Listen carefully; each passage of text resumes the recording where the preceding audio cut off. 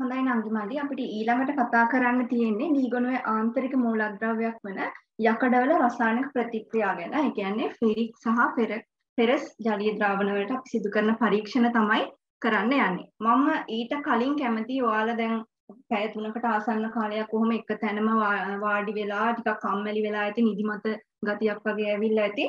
ඔයාලා කොහෙවත් යන්නේ නැතුව ඔහොම පොඩ්ඩක් නැගිටලා වාඩි වෙලා අතපය පොඩ්ඩක් දිග ඇරලා කම්මැලිකම නැති කරගෙන අපි අර කලින් පටන් ගත්තු වෙලාවෙම තිබ්බ ජවයෙන්ම මේ ඉතුරු ටිකත් අහගෙන යමු මොකද අපේ බලාපොරොත්තුව තමයි ඔයාලා දැන් අද සෙමිනාර් එකට එන්න කලින් තිබුණු දැනුම මට්ටමට වඩා ලොකු දැනුම මට්ටමකින් යුතුව ඒ කියන්නේ පේපර් එකේ ඒවා මේකට එන්න කලින් පේපර් එකේ ලියුව ප්‍රමාණයට වඩා නිවැරදි පිළිතුරු ප්‍රමාණයක් ඔයාලට මේකෙන් පස්සේ ලියා ගන්න පුළුවන් වෙන තැනට අපි අපි කැමති ඔයාලා පත් කරන්න ඒ නිසා කම්මැලි නැතුව ඉතුරු ටිකත් උවමනාවෙන් අහගෙන යන්න. හරි.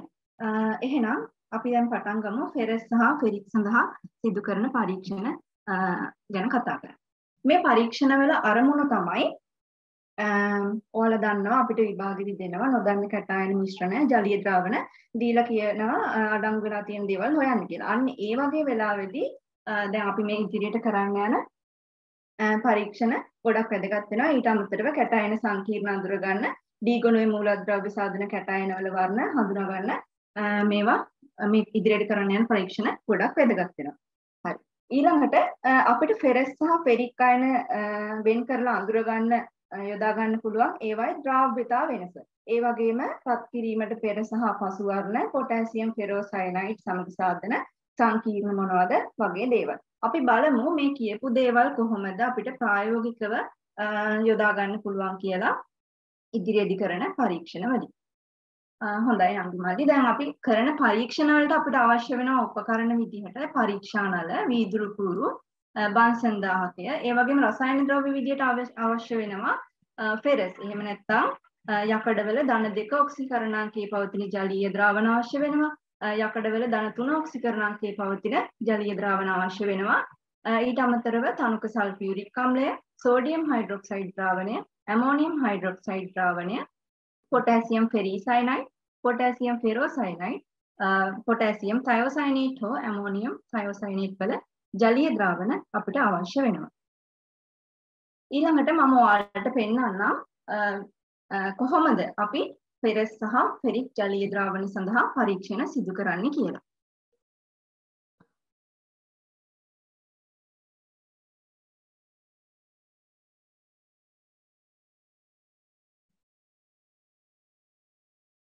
මුලින්ම ඔයාලා දන්නවා අපිට අවශ්‍යයි ෆෙරස් ජලීය ද්‍රාවණයක් හදාගන්න. විද්‍යාගාරයේදී කොහොමද ෆෙරස් ජලීය ද්‍රාවණයක් හදාගන්නේ? මේ තියෙන්නේ ෆෙරස් ෆෙරස් සල්ෆේට් අරගෙන අපිට පුළුවන් ජලය දිය කරලා ෆෙරස් ජලීය ද්‍රාවණයක් හදාගන්න. ඊට පස්සේ ඊට අමතරව තවත් ක්‍රමයක් තමයි අපිට පුළුවන් යකඩ කුඩු මේ පෙන්වන විදිහට යකඩ කුඩු අම්ලයක දිය කරගෙන ඒ කියන්නේ තනුක අම්ලයක දිය කරගෙන අපිට පුළුවන් මෙන්න මේ විදිහට මේ තියෙන යකඩ කුඩු වලට තනුක අම්ලයක් HCl තමයි එකතු කරේ එකතු කරලා අපිට ජලීය ද්‍රාවණයක් හදාගන්න පුළුවන්. මම පොඩි පොඩි ප්‍රශ්න අහනවා ඔයාලා. මේ කියන්නේ අර පොඩක් මේකට අවධානය යොමු කරවන්න පොඩි පොඩි ප්‍රශ්න අහන්නේ ඔයාලා ඉක්මනට ඉක්මනට මේ උත්තර දෙන්න chat box එකේ. මේ පොඩි පොඩි ප්‍රශ්න අහන්නේ 21 නංගිලා මල්ලිලා නම් මේවා ඉතින් අර නිකන් කියන්නේ කකිරි කජු වගේ කියලා එහෙම ඇති. මේ ඒ වුණාට 22 23 නංගිලා සහභාගී වෙලා ඉන්නවනම් එයාටත් වැදගත් වෙන නිසා මම මේ ප්‍රශ්න පොඩි පොඩි අහනවා. මෙතන ෆෙරස් වල ඔක්සිකරණාංකය කියන්න බලන්න ටක් ගාලා.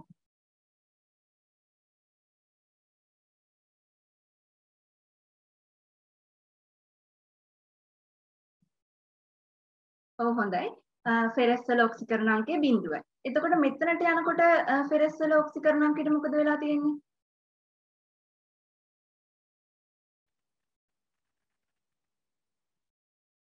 ධන දෙක අවස්ථාවට පත් වෙලා තියෙනවා. ඒ කියන්නේ බිඳුවේ ඉඳලා ධන දෙක අවස්ථාවට යනකොට ඔක්සිකරණයකට ලක් වෙලා තියෙනවා. කවුද ඔක්සිකරණයකට ලක් කරලා තියෙන්නේ? HCl මගින් තමයි මේ ෆෙරස් ඔක්සිකරණයකට ලක් කරලා තියෙන්නේ. ෆෙරස් ක්ලෝරයිඩ් බවට පත් කරලා තියෙන්නේ. ඔයාලා බලන්න මෙතනදී H2 ආයෝ පිට වෙනවනේ.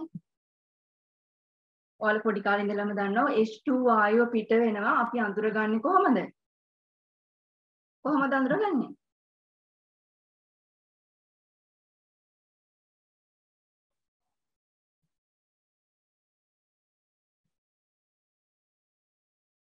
ඔව් දැල් වෙන දැල් වෙන පුලිංගු කීරක් ලං කරාට පස්සේ අපිට පුළුවන් පොප් ශබ්දය එනවනම්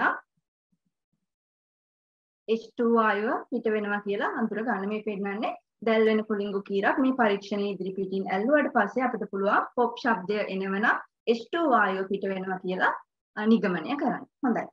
ඊළඟට රංගිමල්දී අපි බලමු මේ පෙන්වන්නේ අපේ ෆෙරස් ජලී ද්‍රාවණයට කියන්නේ FP ධන දෙක අවස්ථාවේ තියෙන ජලීය ද්‍රාවණයට සෝඩියම් හයිඩ්‍රොක්සයිඩ් එකතු කරලා බලනවා මොකද වෙන්නේ බලන්න හොඳින් අපිට අවක්ෂේපයක් ලැබෙනවා ලා කොළ පාට අවක්ෂේපයක්. මේ ලා කොළ පාට අවක්ෂේපය ලැබුණේ ඇයි? මෙතන ෆෙරස් වල ෆෙරස් ධන දෙක කැටායනය OH- කියන ඇනායනයත් එක්ක එකතු වෙලා මොකද වෙලා තියෙන්නේ? ෆෙරස් හයිඩ්‍රොක්සයිඩ් අවක්ෂේප කරලා තියෙනවා. ඒක ලා කොළ පාට අවක්ෂේපයක් විදිහට අපිට බලා ගන්න පුළුවන්.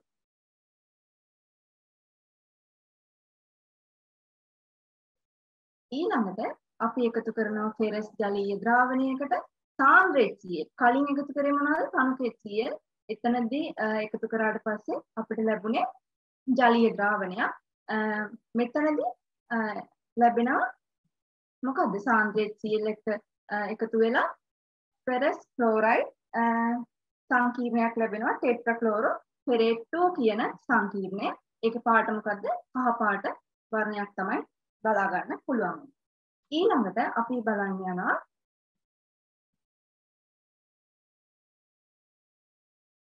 ෆෙරික් සඳහා මේ තියෙන්නේ ෆෙරික් ෆෙරික් ජලීය ද්‍රාවණයක් ඒ කියන්නේ ෆෙරස් නැත්නම් යකඩ වල දාන තුන ඔක්සිකරණ අංකයේ පවතින ජලීය ද්‍රාවණයක් තමයි ඔයාලට දැක්කේ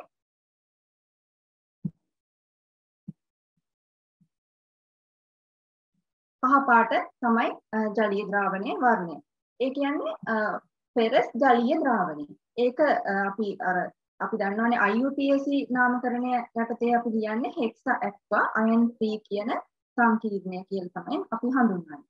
නමුත් ඔයාලට මේක මේ ෆෙරස් ජලීය ද්‍රාවණය නැත්නම් ඇක්වා සංකීර්ණය මේ විදිහට දුඹුරු පාට වෙනව බලා ගන්න පුළුවන් හේතුව තමයි ප්‍රතික්‍රියා මාධ්‍ය අවශ්‍ය තරම් ආම්ලික නොවුනොත් එයා ආම්ලික කරගන්න මොකද කරන්නේ? H+ නිදහස් කරගෙන මේ වගේ දුඹුරු කහ දුඹුරු පාට වර්ණයකින් යුතු ද්‍රාවණයක් හදා ගන්න. මම ඔයාලට සමීකරණ පෙන්නන්නම් එතකොට ගොඩක් පැහැදිලි වෙයි. මේ පෙන්වන්නේ කහ පාට ජලීය ද්‍රාවණය H+ මාධ්‍ය නිදහස් කර ගැනීමෙන් එයාට අඩු වෙච්ච ආම්ලික ප්‍රමාණය මාධ්‍යයට එකතු කරගෙන එයා ආම්ලික වෙන්න බලනවා. ඒක නිසා තමයි මේ කහ පාට කහ දුඹුරු පාට ද්‍රාවණයක් බවට අපිට බලා ගන්න පුළුවන් වෙන්නේ මේක තමයි ඇක්වා හයිඩ්‍රොක්සෝ සංකීර්ණය කියලා කියන්නේ. ඒක තමයි කහදුමුරු පාටින් අපිට පේන්නේ.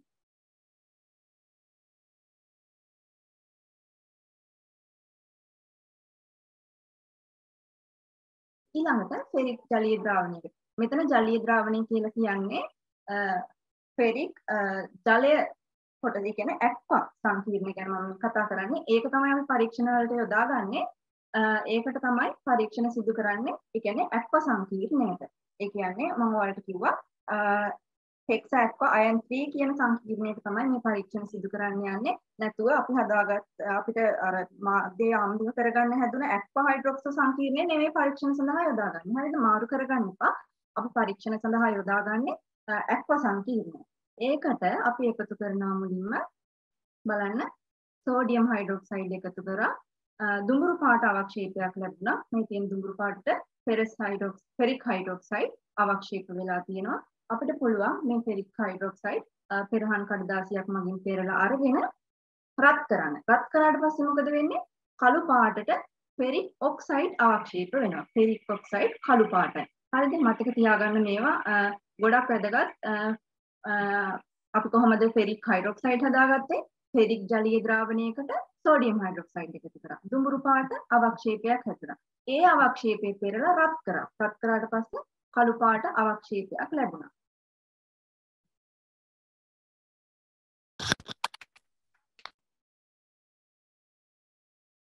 ඊළඟට තවත් ගොඩක් වැදගත් ප්‍රතික්‍රියාවක් තමයි මේ කතා කරන්න යන්නේ.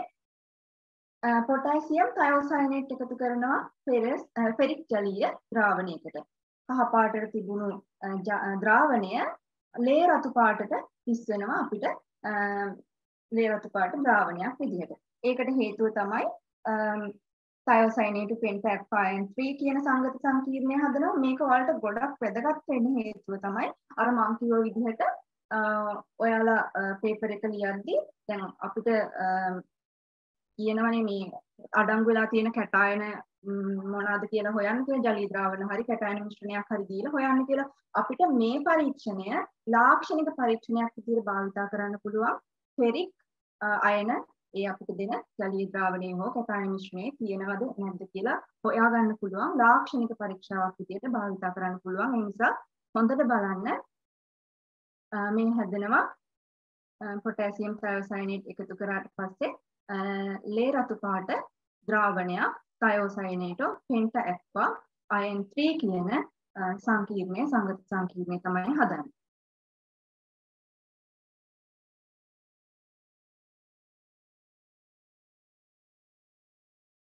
හොඳයි මම කිව්වා ඔයාලට ෆෙරික් අයන හඳුනගන්න ලාක්ෂණික පරීක්ෂාවක් විදිහට මේක භාවිතා කරන්න පුළුවන් කියලා. ඊළඟට අපි බලමු අපිට දෙන ජලීය ද්‍රාවණයක ෆෙරස් අයන අඩංගුද කියලා. ඒ කියන්නේ යකඩ ධන දෙක ඔක්සිකරණ අවස්ථාවේ තියෙන අයන තියනවාද කියලා ඒ කියන්නේ කැටායන තියනවාද කියලා අඳුරගන්න අපි කොහොමද පොටෑසියම් ෆෙරිසයනයිඩ් ඒ කියන්නේ K3FeCN6 භාවිතා කරලා කොහොමද පරීක්ෂණ සිදු කරන්නේ කියලා බලමු. හොඳයි නම් මගේ දැන් මෙතනදී අපි ෆෙරස් ගලිය ද්‍රාවණයට K3FeCN6 එකතු කරා බලන්න නිල් පාටට හුරු අවක්ෂේපයක් හැදෙනව නේද? මේ නිල් පාට අවක්ෂේපය ටර්න් බුල් නිල් පාට කියන නමින් තමයි හඳුන්වන්නේ. ඔයාලා පාස් පේපර්ස් වල ගොඩක්ම හම්බෙන ප්‍රශ්නයක් වල ඒ කියන්නේ ඉනෝගනික් ප්‍රශ්න වල නැත්නම් කාබනික රසායනික ප්‍රශ්න වල MCQ වල ඒ වගේම ස්ට්‍රක්චර් වල අර ඔයාලා දන්නවා කොටු ගහලා දෙන ප්‍රශ්න තියෙන්නේ. ඒ ඒ ප්‍රශ්න වල පවා මේ නිතරම යෙදෙන ප්‍රශ්නයක් ප්‍රශ්නයකට මේ කොටස එනවම තමයි ගොඩක් වෙලාවට විසි එකේ නංගිල මල්ලිලා නම් දැකලා ඇති අනිත් අයත් මතක තියාගන්න නංගිල මල්ලිලා මේ පරීක්ෂණය සහ ඉස්සරහදී මම කියලා දෙන පරීක්ෂණය ඒ වගේම අර මං කිව්ව ලාක්ෂණික පරීක්ෂණය නිතරම යෙදෙන පරීක්ෂණ තුනක්. මේක ආයෙ බලන්න තියාගන්න එපා. අදම මතක තියාගන්න මේ ඔයාලට වීඩියෝ මගින් පෙන්වන නිසා ඔයාලා ඇස් දෙකෙන්ම දකින්නවනේ මේ වෙන දේවල්. එතකොට ඔළුවට යනවා වැඩි. ඒක නිසා අදම මේ දේවල් මතක තියාගන්න ආයෙ බලන්න තියාගන්න එපා. අද මේ කරන ප්‍රෝග්‍රෑම් එකේ උපරිම ප්‍රයෝජන ගන්න කම්මැලි එහෙම වෙන්නේ නැතුව. ඊළඟට මේ හැදුන අවක්ෂේපය රෙන්බුල් නිල් පාට අවක්ෂේපය අපිට පුළුවන් මේ විදිහට පෙරහන් කඩදාසියකින් පෙරලා අරගෙන පැහැදිලිව බලා ගන්න පුළුවන්.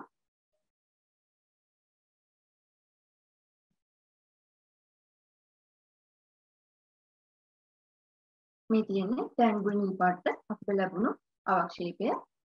බලන්න හොඳට ලැබිලා තියෙන අවක්ෂේපය මොකද්ද? KFE FECN6. ගොඩක් වෙලාවට මේක ඒ කියන්නේ අපිට දෙන ප්‍රශ්න ප්‍රශ්න දෙන විදිය මම මෙතන විස්තර කරන්න යන්නේ නැහැ. ගොඩක් වෙලා යන නිසා ඔයාලා බලන්න පාස් පේපර්ස් වල කොහොමද මේක අහන්නේ කියලා දෙනවා නොදන්න මිශ්‍රණයක් දීලා අපිට කියනවා මේකට මෙන්න මේ පොටෑසියම් ෆෙරිසයනයිඩ් එකතු කරාට පස්සේ ටර්න් බුල් නිල් පාට අවක්ෂේපයක් ලැබෙනවා. ඒ අවක්ෂේපය දැන් මේ මොකද්ද කියලා අඳුරගෙන ඊට පස්සේ අපි ලියන්න වෙනවා මොකද්ද අවක්ෂේපය කියලා. මේක ඒ වෙලාවට ඔයාලා බලන්න මෙතන තියෙන KFP FPCN6 හරිද? ඊළඟට මේක ෆෙරික් වලත් මේ විදිහටම හැදෙනවා. මම ඉස්සරහට පෙන්නන්නම්.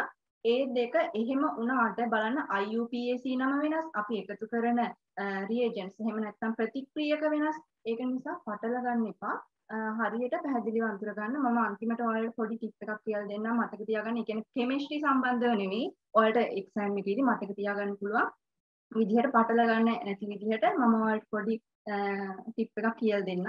දැනට බලන්න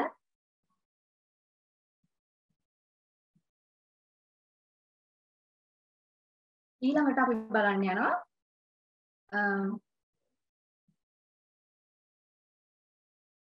ෆෙරික් ජලීය ද්‍රාවණයකට K4FeCN6 ඒ කියන්නේ පොටෑසියම් ෆෙරෝසයනයිඩ් එකතු කරොත් මොකද වෙන්නේ කියලා. බලන්න එතනදි හැදිලා තියෙන්නේ මොකන්ද KFeFeCN6 කියන අවක්ෂේපය. හැබැයි පාට මොකද්ද? ප්‍රශියන් නිල් පාට. මෙතනදී එකතු කරේ මොනවද? K4FeCN6. බලන්න මෙතනදිත් අපිට පුළුවන් මේ ප්‍රශියන් නිල් පාට අවක්ෂේපය කලින් වගේම පෙරහන් කඩදාසියක් භාවිතයෙන් පෙරලා වෙන් කරගෙන බලන්න.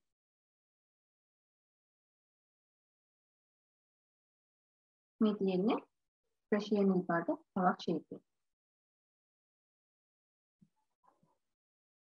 දැන් ඔයාලා දකින්න ඇති අන්තිමට දැන් අපිට ලැබුණ ෆෙරික් ජලීය ද්‍රාවණයක් එක්ක පරීක්ෂණය සිදු කරද්දී ලැබුණා මේ විදිහට ප්‍රශියන් නිල් පාට අවක්ෂේපය KFPFPCN6 අපිට පෙරස් 2+ වලට පරීක්ෂණය කළා අපි මේ තියෙන එතනදිත් ලැබුණේ මේ විදිහට. දැන් මෙතන පැටලෙන්න පුළුවන්නේ.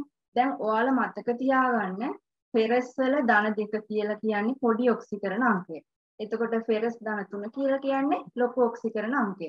පොඩි ඔක්සිකරණ අංකයට අපි පොඩි K3 ඒ කියන්නේ K3 නේ එකතු කරන්නේ අංකේ පොඩි. එහෙම මතක තියාගන්න මේව කෙමිස්ට්‍රි නෙවෙයි ඔයාලා මේ හිතන්න එපා මේ කෙමිස්ට්‍රි නේතු වෙන යෝ ගන්නවා එහෙම කියලා හිතන්න එපා. මම මේ පොඩි ඒ කියන්නේ මේ 21 නංගිලා මල්ලිලාට නම් මේක ගොඩක්ම ඒ කියන්නේ එදිලා එදිලා ඒගොල්ලන්ට ගොඩක් මතකයි මේව. ඉතින් මේ ආයේ නකින් තමයි. හැබැයි මේ 22 23 නංගිලා මල්ලිලා මේව ගොඩක් භාවිතා වෙලා නැහැනේ. එයාලා පොඩ්ඩක් මතක තියාගන්න මේ විදිහට මේ ටිප් එක පාවිච්චි කරන්න. පෙරස් ඒ කියන්නේ ධන දෙක ඔක්සිකරණ අංකයට මේ K3 FeCN6 එකතු කරාම තමයි ටර්න් බුල් නිල් පාට හැදෙන්නේ. හැබැයි බලන්න පෙරස් ධන 3 කියලා කියන්නේ මොකද්ද? ලොකු ඔක්සිකරණ අංකය. එයාට එකතු කරාට පස්සේ අපිට ලැබුණේ මේ විදිහට ප්‍රශියන් නිල් පාට අවක්ෂේපය. අවක්ෂේපයේ එකම සංකේතයෙන් තමයි තියෙන්නේ. හැබැයි බලන්න මෙතන IUPAC නම එහෙම වෙනස්. හොඳයි. මම මේ කතා කරපු ටික ඔයාලට පෙන්වන්න සාරාංශගත කරලා මේ විදිහට අපි මුලින්ම ගත්ත යකඩ කුඩු පෙරස් අරගෙන තණුක HCl එකතු කරා. තණුක HCl එකතු කරාට පස්සේ අපිට ජලීය ද්‍රාවණය හදාගන්න පුළුවන් කියලා මම කිව්වා. ඊළඟට අපි ජලීය ද්‍රාවණයට තමයි දැන් පරීක්ෂණ කරේ. ඊට පස්සේ අපි සයනයිඩ් එහෙම නැත්නම් පොටෑසියම් සයනයිඩ් එකතු කරේ එකතු කරලා මම ඔයාලට පෙන්නුවේ නැහැ පරීක්ෂණය කරන විදිය. නමුත් මෙතනදී මේකත් මතක තියාගන්න සයනයිඩ් එහෙම නැත්නම් පොටෑසියම් සයනයිඩ් එකතු කරාට පස්සේ මේ විදියට ලා කොළ පාට ද්‍රාවණයක් හැදෙනවා. ඒක හෙක්ස සයනෝ පෙරේට් 2 කියලා මතක තියාගන්න. ඊළඟට අපි මේ පරීක්ෂණය කළා ෆෙරස් ජලීය ද්‍රාවණයකට සාන්ද්‍රෙච්චියල් එකතු කරා. ඊට පස්සේ මොකද වුනේ කහ පාට කොළ පාට ද්‍රාවණය කහ පාට බවට පත් වුණා. කහ පාට ද්‍රාවණයක් බවට පත් වුණා. හේතුව තමයි ටෙට්‍රාක්ලෝරෝ ෆෙරේට් 2 කියන ද්‍රාවණය අපිට හැදුණා. ඊළඟට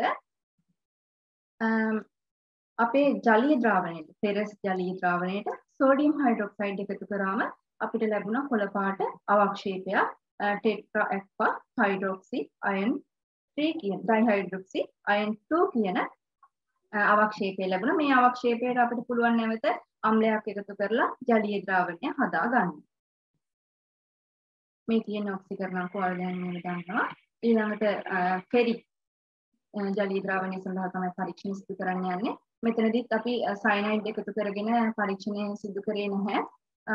පොටෑසියම් සයනයිඩ් එකතු කරගෙන පරීක්ෂණ කරන විදිහ මම පෙන්නුවේ නැහැ. හැබැයි මේ පරීක්ෂණයත් යෙදෙන්න පුළුවන්. ඒක නිසා මතක තියාගන්න ඔයාලා ෆෙරික් ජලී ද්‍රාවණයකට සයනයිඩ් එකතු කරාට පස්සේ ලැබෙනවා හෙක්සසයනෝ ෆෙරේට් 3 කියන අවක්ෂේපය. ඊළඟට ෆෙරික් ජලී ද්‍රාවණයට සෝඩියම් හයිඩ්‍රොක්සයිඩ් එකතු කරාට පස්සේ අපිට ලැබුණ අවක්ෂේපයක් දුඹුරු පාට. ඒක තමයි ට්‍රයිඑෆ්පා ට්‍රයිහයිඩ්‍රොක්සි අයන් 3 කියන අවක්ෂේපය. අපිට මේ අවක්ෂේපයට අම්ලයක් එකතු කරලා අපිට පුළුවන් නැවතත් ජලීය ද්‍රාවණය හදා ගන්න. ඊළඟට මම කිව්වා මේ පරීක්ෂණය ගොඩක් වැදගත් ලාක්ෂණික පරීක්ෂාවක් ෆෙරික් අයන හඳුනා ගන්න පුළුවන් ලාක්ෂණික පරීක්ෂාවක් ලේ රතු පාට ආක්ෂේපයක් හැදුණා මොනවා එකතු කරාට පස්සේද පොටෑසියම් තයෝසයනේට් එකතු කරාට පස්සේ මේ තියෙන්නේ A හැදුන ලේ රතු පාට ද්‍රාවණය. සයෝසයිනේටෝ පෙන්ට ඇක්වා අයන් 3 කියන ද්‍රාවණය තමයි ලැබුණේ. හොඳයි නම්දි මල්ලි මම හිතනවා ඔයාලට ෆෙරස් සහ ෆෙරික් සඳහා අපි කරපු පරීක්ෂණ ගැන අවබෝධයක් එන්න ඇති කියලා. මම ඔයාලට මේ PDF එකක් කරලා මෙන්න මේ ඔය කතා කරපු ටික වගුගත කරලා තියෙනවා. මේ ටික එවන්න පුළුවන්. බලා ගන්න මේ මෙතන තියෙනවා අපි කරපු පරීක්ෂණ ඔක්කොම ෆෙරස් සහ ෆෙරික් සඳහා.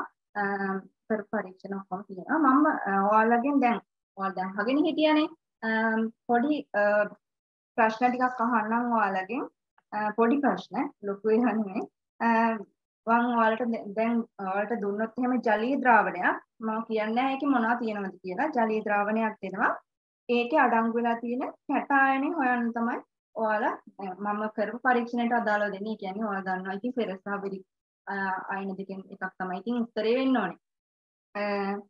මම දෙන ජලීය ද්‍රාවණයට එකතු කරොත් පොටෑසියම් තයෝසයනේට්.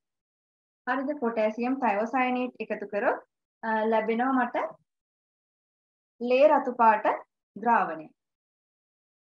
එතකොට ඔයාලා කියන්න ඕනේ මට මොනවද ජලීය ද්‍රාවණයේ තියෙන කැටායනය කියලා. මම හිතනවා ප්‍රශ්නේ පැහැදිලි කියලා ඔයාලට දෙන ජලීය ද්‍රාවණයට පොටෑසියම් තයෝසයනේට් එකතු කරනවා. ඔයාලා කියන්න ඕනේ ලේ රතු පාට වෙනව නම් මොනවද තියෙන කැටායනය කියලා.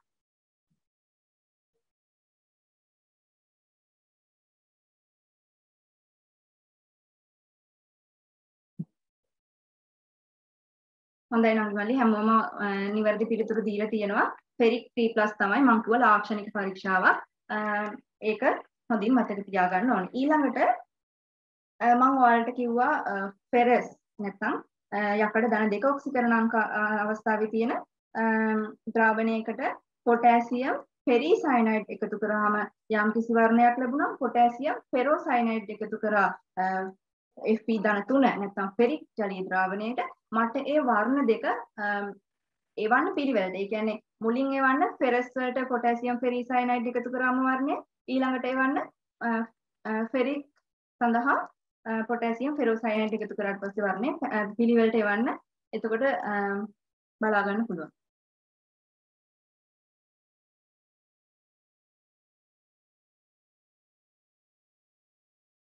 හොඳයි. ඔව්. ටැන් බුල් නිල් පාට ලැබෙනවා. ෆෙරස් එක පොටෑසියම් ෆෙරිසයිනයිඩ් එකතු කරාට පස්සේ ටර්න් බුල් නිල් පාට ෆෙරික් සමග පොටෑසියම් ෆෙරෝසයිනයිඩ් එකතු කරාට පස්සේ ප්‍රශියන් නිල් පාට. හොඳයි නංගි මල්ලි මං හිතනවා ඔයාලට යම් කිසි දැනුමක් ලැබෙන්නේ නැති කියලා ෆෙරස් සහ ෆෙරික් ජලීය ද්‍රවණ වලට අපි කරපු පරීක්ෂණ වලට ඔයාලට එක්සෑම් එකේදී එන ප්‍රශ්න එහෙම පොඩ්ඩක් මේ පරීක්ෂණ එහෙම කරාට පස්සේ ඔයාලා පාස් පේපර්ස් එහෙම බලන්න කොහොමද ප්‍රශ්න එහෙම ඇවිල්ලා තියෙන්නේ කියලා. එතකොට ගොඩක් අවබෝධ වෙනවා මේ කියලා දීපු දේවල් මෙහෙම මෙහෙම තමයි ප්‍රශ්න වලට එන්නේ කියලා. යෙදෙන ආකාරය බැලුවමනේ ඔළුවට යන්නේ. ඒක නිසා. අපි ඊළඟට මැංගනස් සහ ක්‍රෝමියම් අයන සඳහා සිදු කරන පරීක්ෂණ සඳහා යමු. ඔයාලට